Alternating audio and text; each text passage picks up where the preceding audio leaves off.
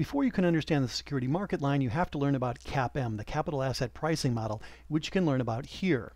Here is the formula for CAPM. The security market line is basically just a graph of this formula. Let's assume that the risk-free rate is 5%, and you believe the overall stock market will produce a rate of return of 12.5% next year.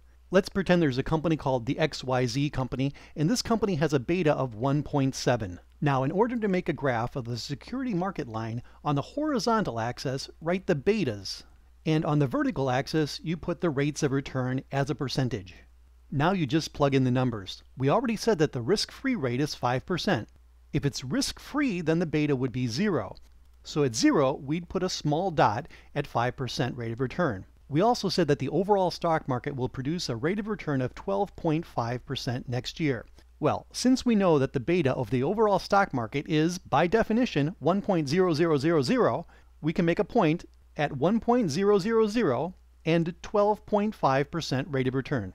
Now the security market line is a straight line. Since we know from like geometry that two points establish a line, we can draw the line at this point. Now let's take a look at XYZ company. We already know that the beta equals 1.7. Moving along the horizontal axis, we can find the point where 1.7 would be, move up and find the corresponding point on the rate of return, which is 17.75%. Copyright 2008 by TeachMeFinance.com. All rights reserved.